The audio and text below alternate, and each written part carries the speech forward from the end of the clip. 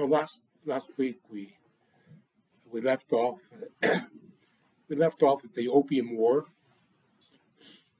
and uh, we saw that uh, the English, in the name of free trade, they um, forced the Chinese to um, uh, concede uh, five ports uh, where uh, they and other Westerners could come and trade, and they imposed a big indemnity saying that China was responsible for the war. And this is uh, generally regarded as the beginning of the, what is called the century of hum- humiliation. Actually, it lasted longer.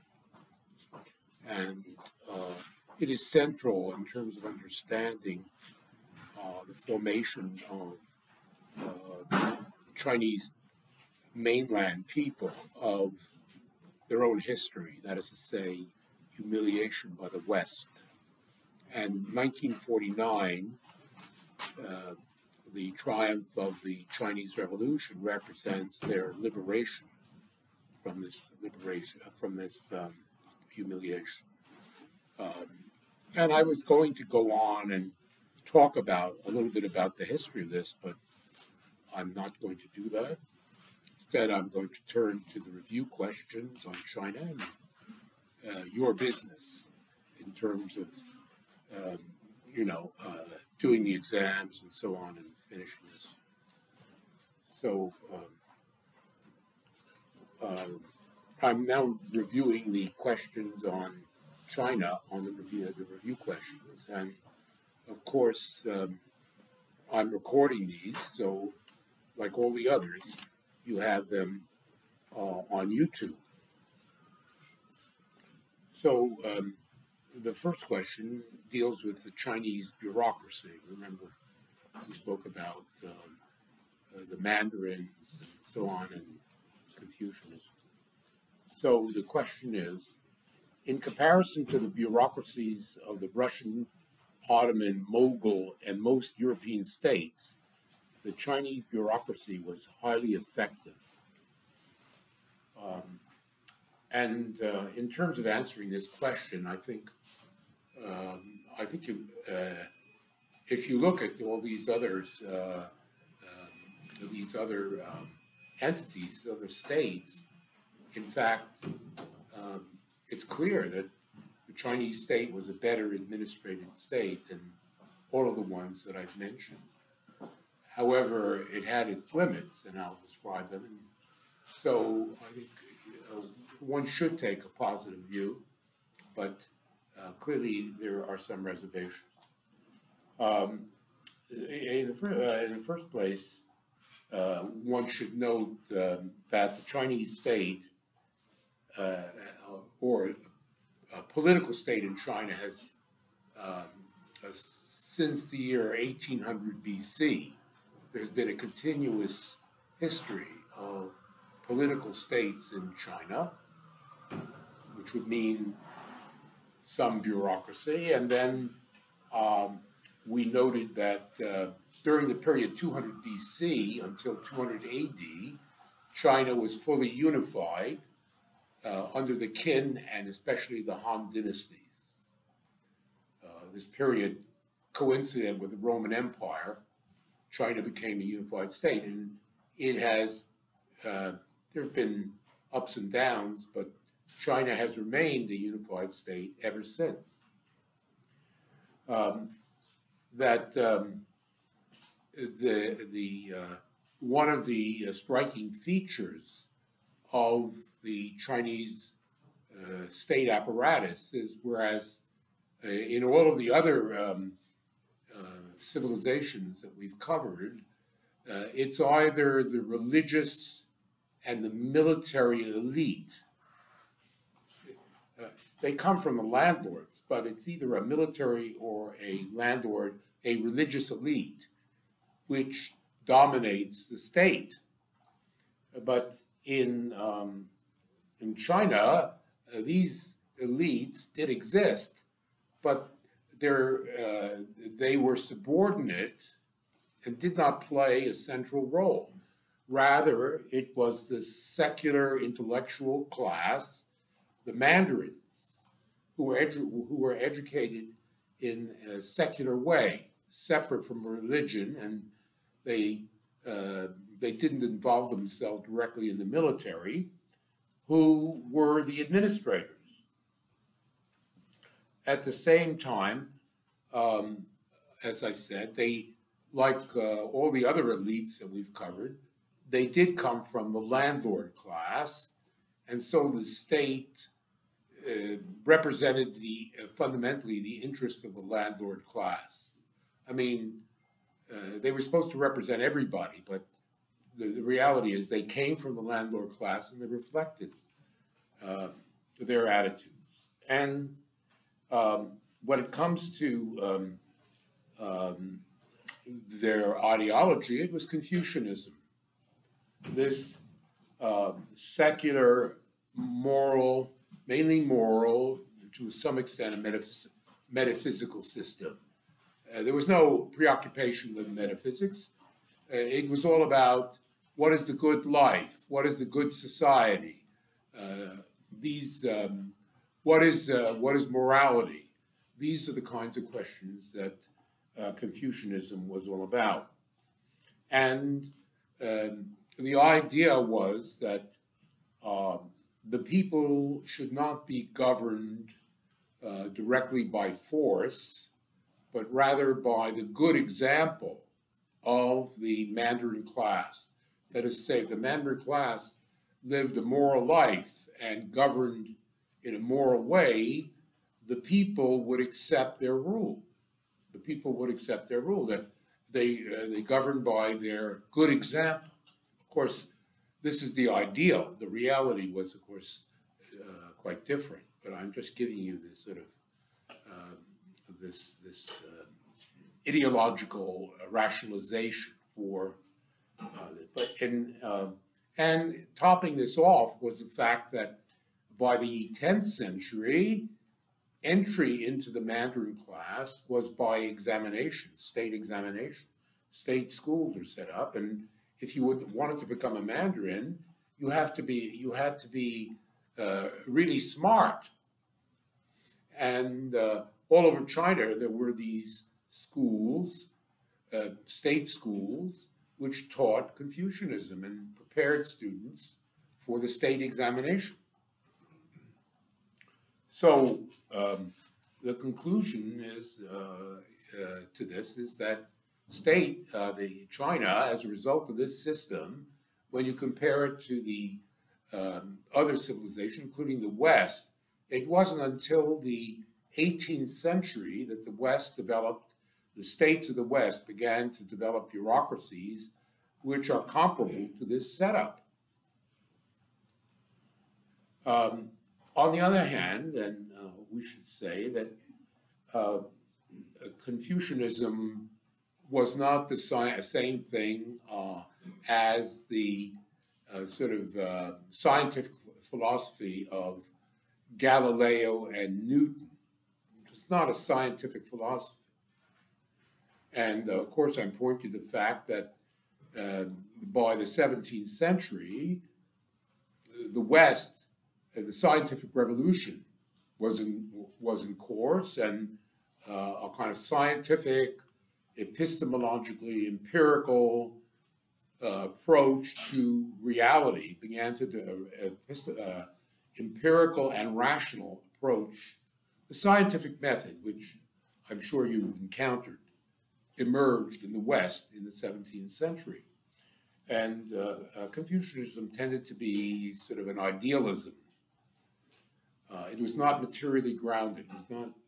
Um, it was not focused on empirical reality in the same way as the scientific method. Um, and um, indeed, uh, by the 17th century, whereas China had been the lead in terms of scientific and technical innovation, uh, there was no comparison.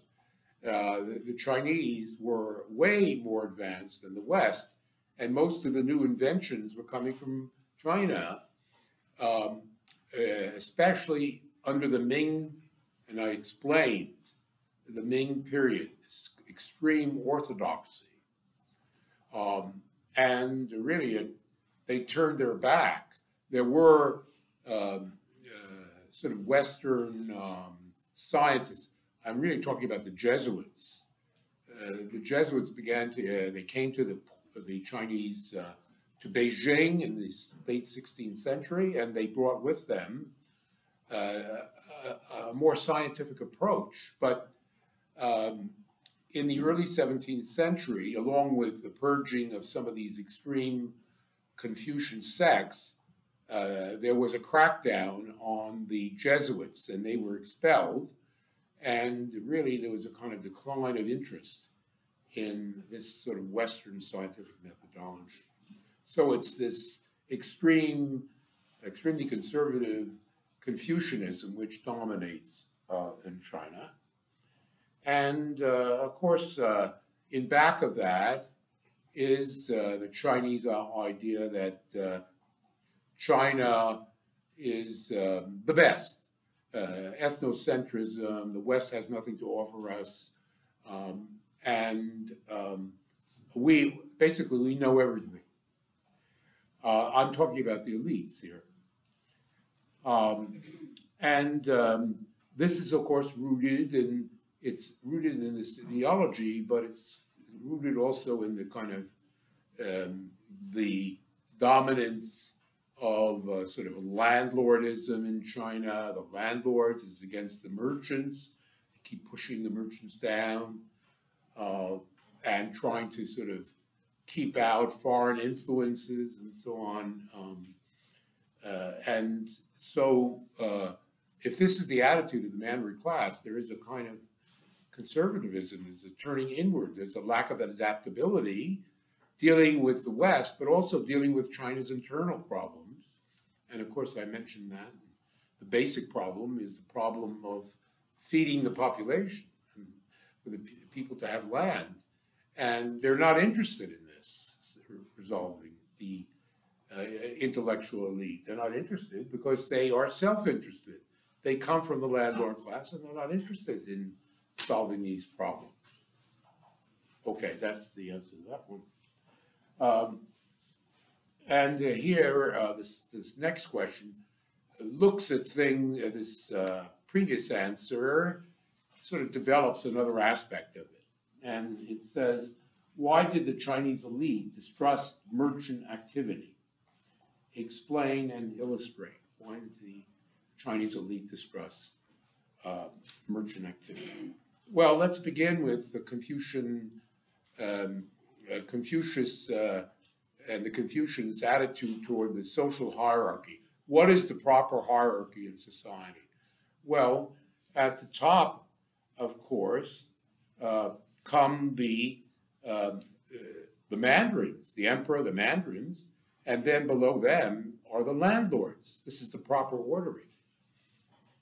And then for them, uh, uh, below them come the peasants, the peasants, then the craftsmen, and at the bottom are the merchants. Uh, in a good society, according to the, these Confucians, these mandarins, the merchants will be at the bottom of society. And why is that? Because they're the least moral. Uh, Confucianism is all about morality, and merchants are um, immoral or amoral. Uh, they're out for the buck, and uh, craftiness, cleverness, manipulating people, take advantage of people. That's what it's all about. And so these people are morally inferior and they need to be controlled. Now, there's something there's something to this, but the main thing is that this is coming from the landlords. This is coming from the landlord elite. Uh, they see the merchants as their rivals. They threaten the power of this whole apparatus. And so that's why they keep, in terms of this ideology, they, they elaborate this anti merchant uh, attitude. Uh, that's the fundamental reason. And then, of course, there is the ethnocentrism. Um, foreigners are bringing all sorts of ideas, maybe some ideas about science and technology. No, uh, these are, uh, we have everything in China.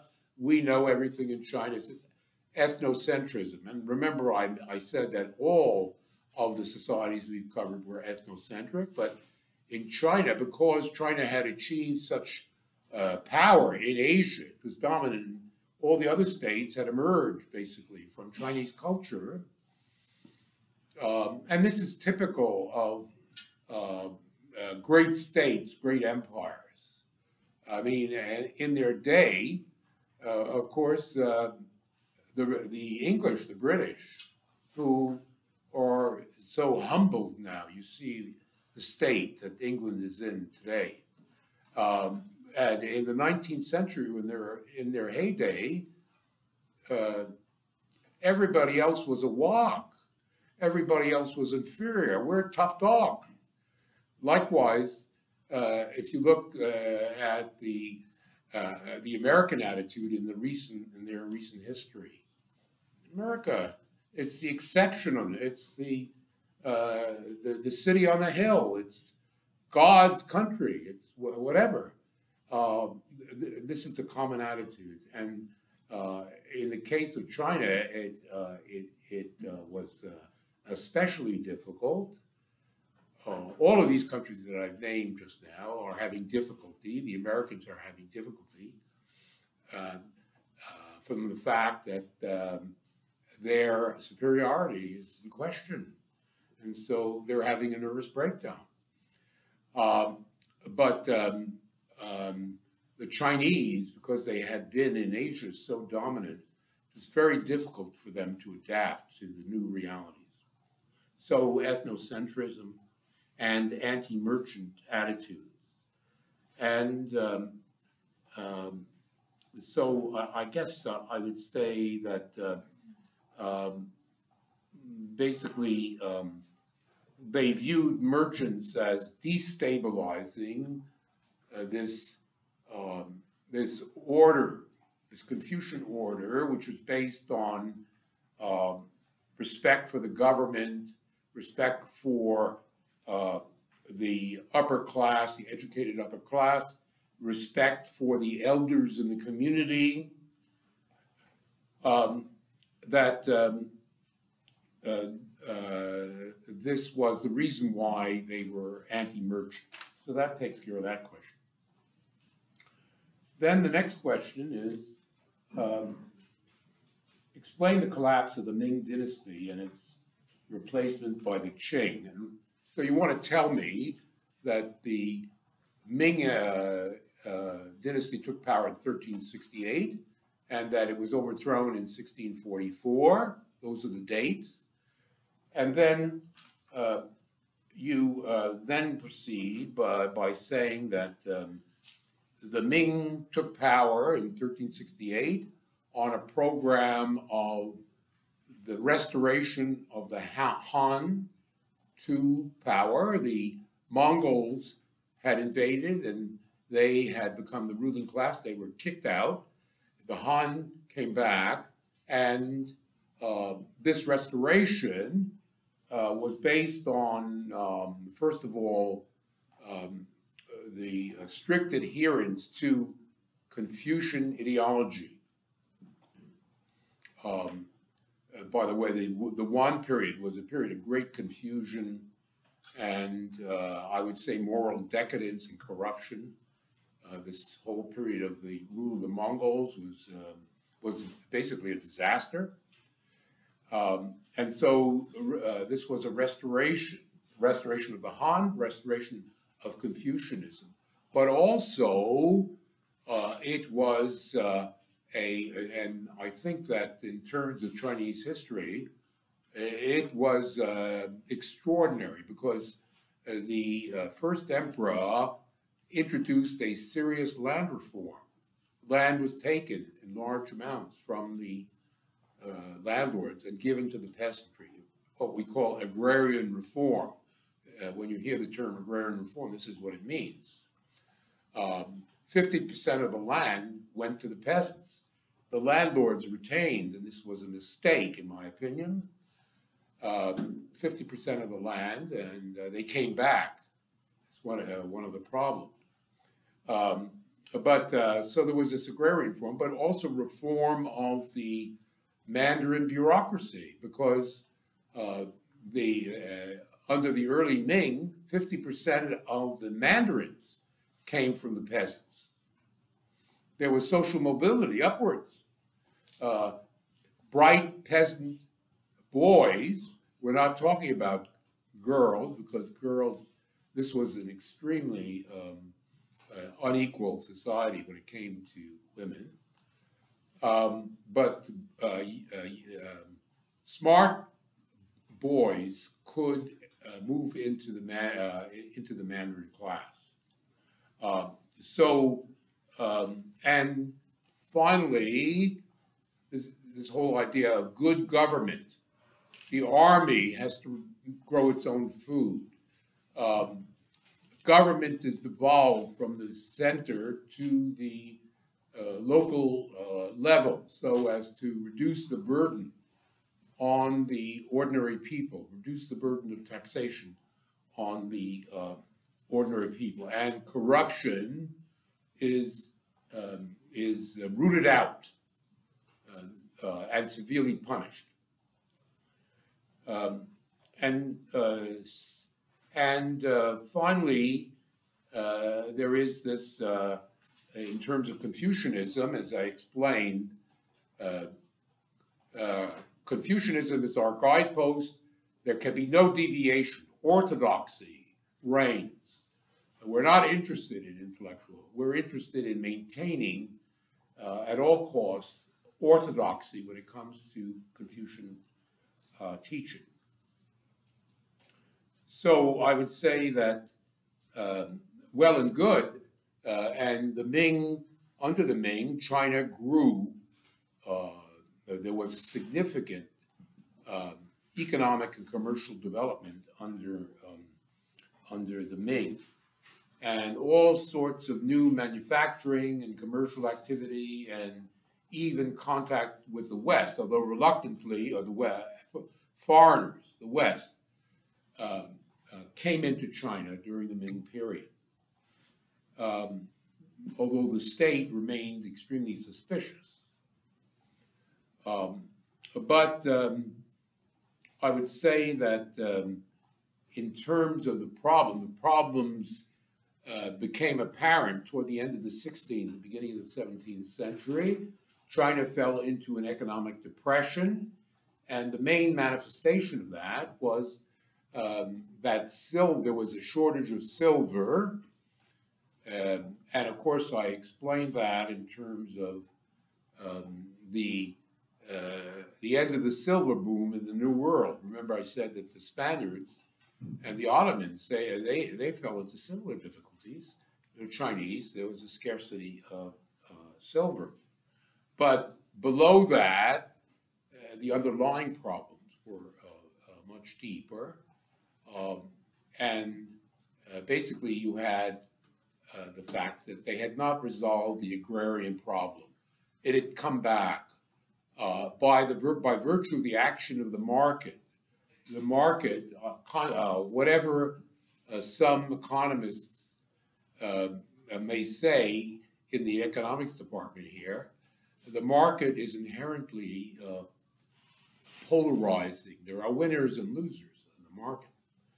And over time, we're talking about 300 years, uh, the peasants, uh, they uh, crops failed, they got into debt, they had to they had to uh, hand over their land to the landlords, and by the late 16th and uh, early 17th century, there was this redevelopment of social polarization. There were a lot of landless peasants, and this was, of course, the grounds for the growing peasant unrest that began to become evident in the early decades of the 17th century. Um, and uh, I guess uh, in terms of explaining this uh, collapse of the Ming, uh, you want to mention, I've already mentioned this, so I'm not going to go back, the fact that the intellectuals, the bureaucracy, the state uh, didn't respond to these problems um, because of the Confucian orthodoxy that I spoke about. They were rigid and, and uh, uh, they did not develop any kind of an answer. And finally, I would note, of course, the rise of the Manchu state in uh, what is now Manchuria, the Manchus. Nurhaci, I, uh, I spoke about that in the previous lecture. Um, uh, all of these internal problems weaken China, and therefore the uh, the the Manchus, who were warriors, could invade and with success. So that's the answer to that one. And then uh, finally, we have the last uh, question. Um, the Qing dynasty, the, uh, or the Qing dynasty, entered a crisis at the end of the 18th century.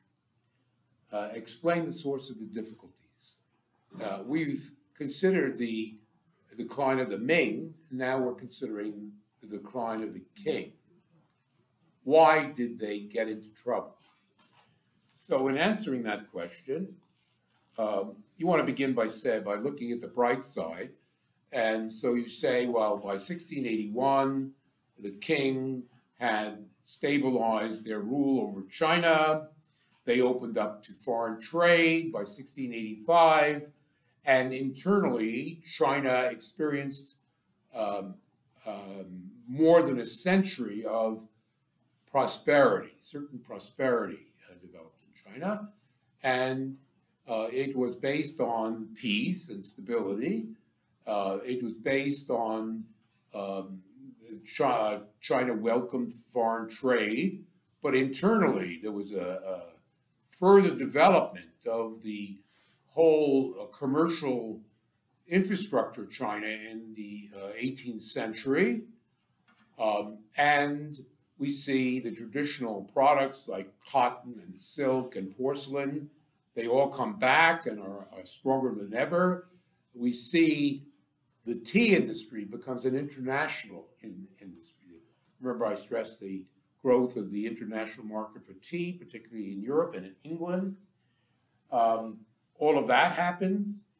Um, and uh, we, we have, in terms of nutrition, it's not merely rice and wheat and peanuts and potatoes.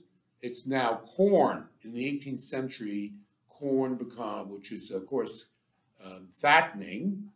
Uh, people can, um, and animals can eat corn, and that's important um, because the population is growing.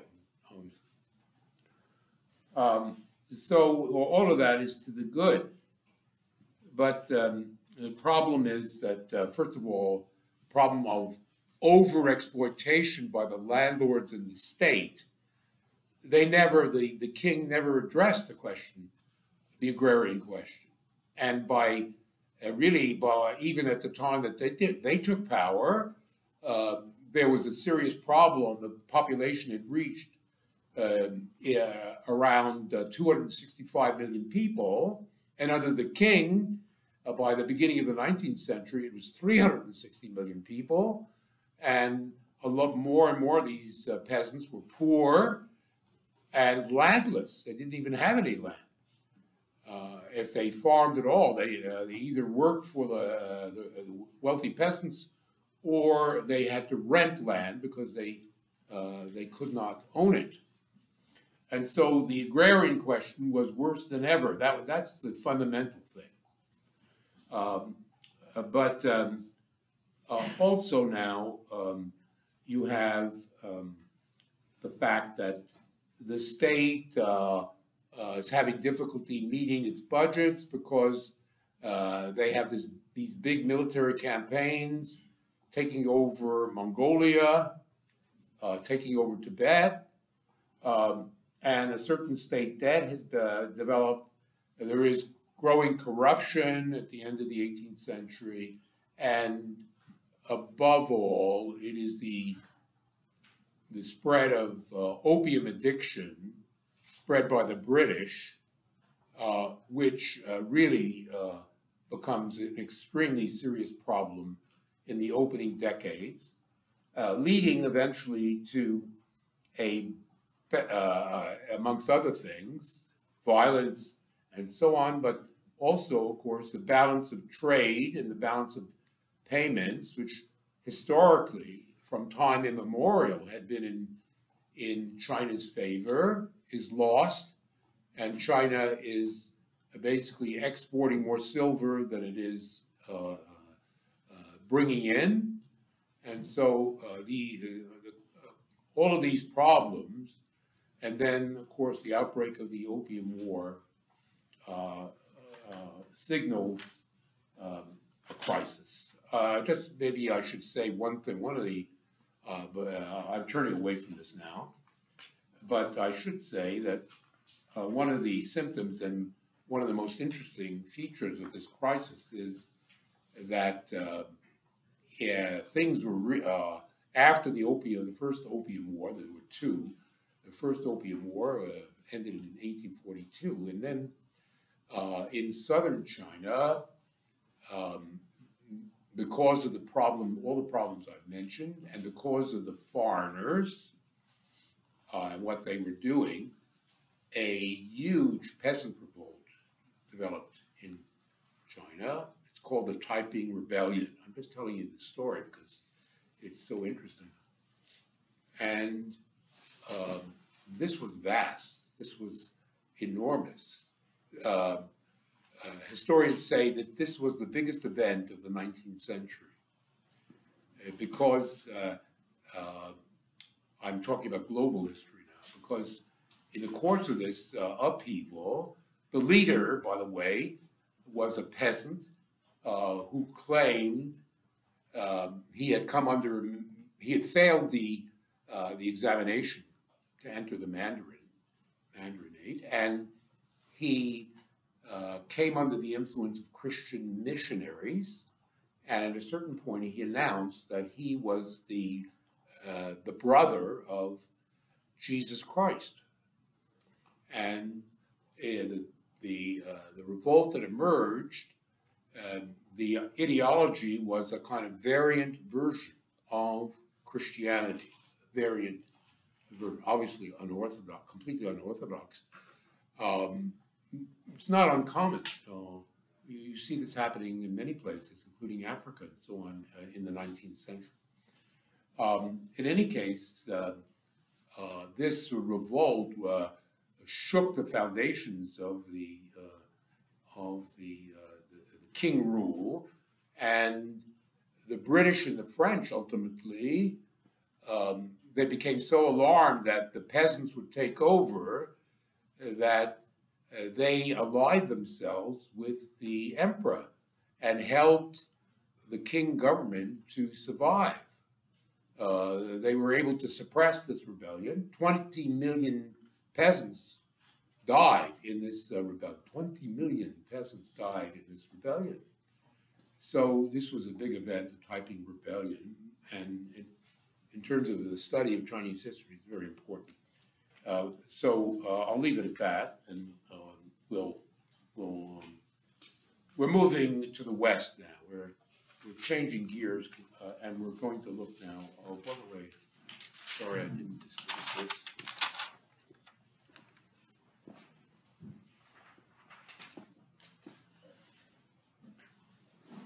We're, we're looking at the west.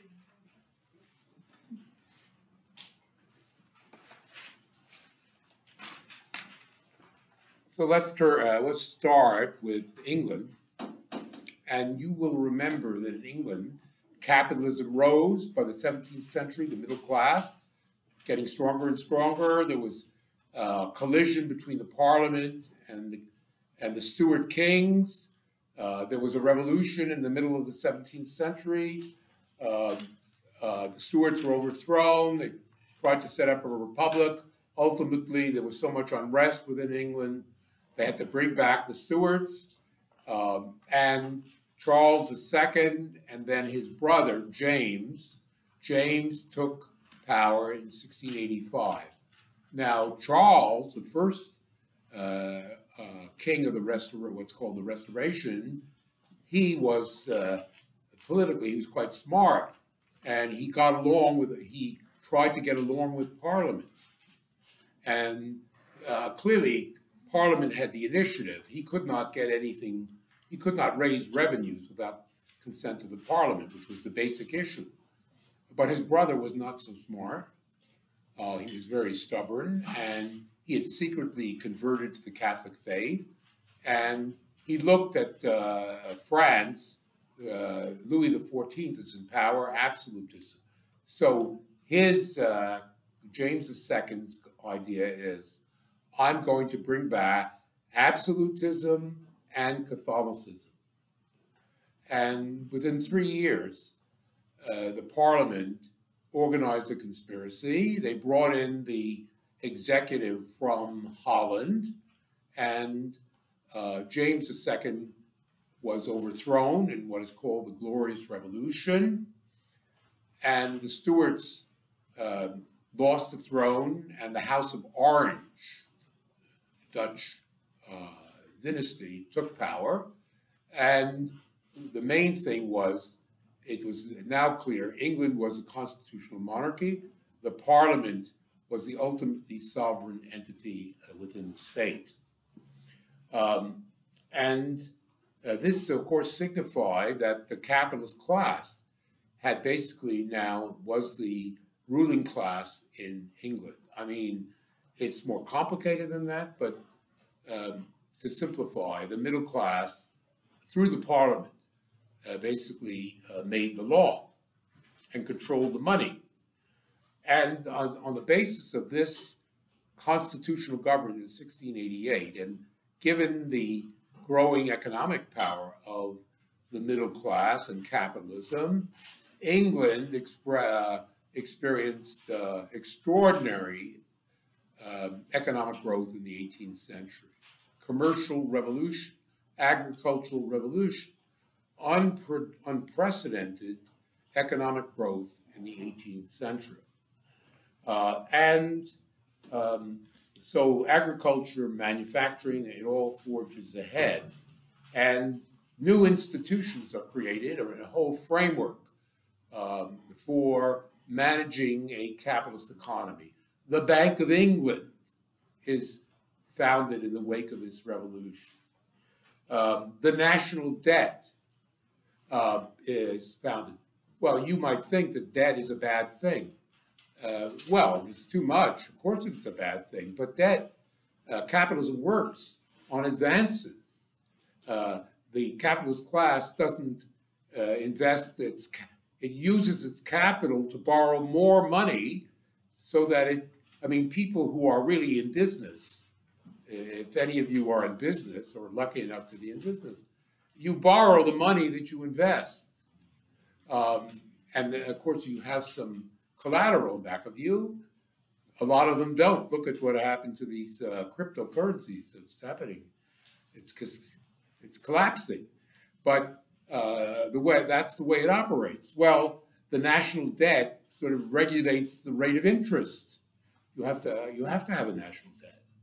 Uh, uh what the uh, it enables the government to control the rate of interest, which is essential to the way a capitalist economy runs. So the English create this, a national debt. Bank of England, national debt. The English pound, a stable currency backed by the Bank of England. Um, a sophisticated stock exchange. Um, joint stock companies of every description. People can invest their money in essentially joint stock companies in the 18th century, investing in everything, including the Hudson's Bay Company and so on. Like, uh, it's all happening uh, by the 18th century in England. And uh, in comparison to Holland, Holland is basically reduced to being permanently the junior partner of England. Um, they don't have uh, the cheap food, they don't have the cheap fuel, coal. In the case of England, they don't have the cheap food, they don't have the cheap coal, uh, they don't have a large enough population to create a real big market and also uh, to um, uh, to uh, from which a strong army can be recruited. So England has all the advantages, and so England is is ahead in terms of capitalism, and this is shown by the wars with Fred at France at this time. Remember, we reviewed the wars with France, the wars of Louis XIV. The English emerge a capitalist economy, a constitutional government, rather than absolutism and feudalism. Capitalism is against feudalism, constitutionalism is against absolutism. England emerges at the end of these wars uh, demonstrably superior to uh, the setup in France. So we still have um, some time.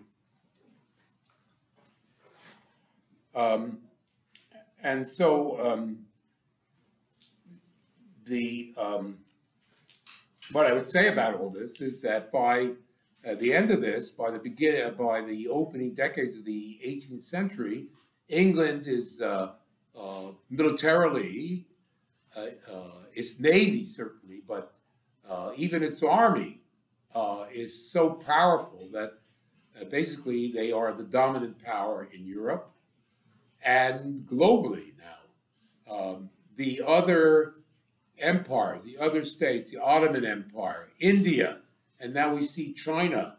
Uh, these societies cannot, uh, given this uh, powerful engine, capitalist engine that has developed, um, there's no way that any of these empires can resist the force, uh, the military force, the political force, the economic power of England. Um, now, um, I want to uh, say, yes, it's capitalism, but uh, still mercantilism. The state continues in the 18th century. England is achieving its success not by the free market. The state is backing capitalism at every turn. Uh, the whole development of the colonial empire is, and the armies and navies that are fielded, it's all the state. The state is regulating exports and imports. They won't allow any foreign goods rivaling English industry to come into the country. Uh, they're protecting their industries.